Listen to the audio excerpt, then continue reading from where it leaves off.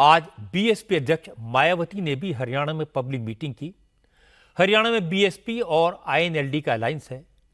क्योंकि राहुल गांधी ने कैंपेन के दौरान जातिगत जनगणना की बात की, दलितों और पिछड़ों को आबादी के हिसाब से आरक्षण का वादा किया।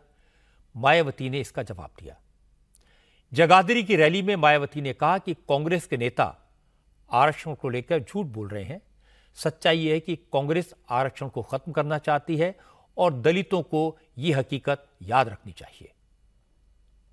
राहुल गांधी ने भी, कांग्रेस के श्री राहुल गांधी ने भी विदेश में जाकर इनके सभी आरक्षण को आगे वक्त आने पर खत्म करने का भी ऐलान कर दिया है। इससे साफ़ ज़ाहिर है कि आपका आरक्षण बहुत खतरे में है। बाबा साहब, डॉक्टर अंबेडकर ने आरक्षण शुल्क कास्ट में जितनी जातियाँ आती हैं सबको दिया था। उन्होंने केवल एक जाति को नहीं दिया था, उसमें विभिन्न जातियाँ हैं, सब कास्टे हैं। जो इन्हें आरक्षण का ये संविधानिक अधिकार दिया है तो इसे बचाने के लिए अब यह हरियाणा प्रदेश में हो रहे विधानसभा चुनाव में इन वर्गों को, ऐसी सभी आरक्षण विरोधी पार्टियों को अपना कतई भी वोट नहीं देना है। हरियाणा के चुनाव में बीजेपी के लिए चैलेंज है एंटी इनकम्बेंसी।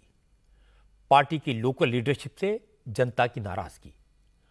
कांग्रेस के लिए चुनौती है अपनी पार्टी में इनफाइटिंग और आम आदमी पार्टी समेत दूसरी स्थानीय पार्टियाँ जो एंटी बीजेपी वोट को बांट सकती हैं। मायावती के लिए चैलेंज है अपने दलित वोटर बैंक को बचाए रखना। लेकिन मेन मुकाबला बीजेपी और कांग्रेस के बीच है। नरेंद्र मोदी के कैंपेन के बाद बीजेपी की हालत में सुधार हुआ है, लेकिन ओवरऑल सिचुएशन देखें तो आज भी कांग्रेस के पास अपर हैंड है।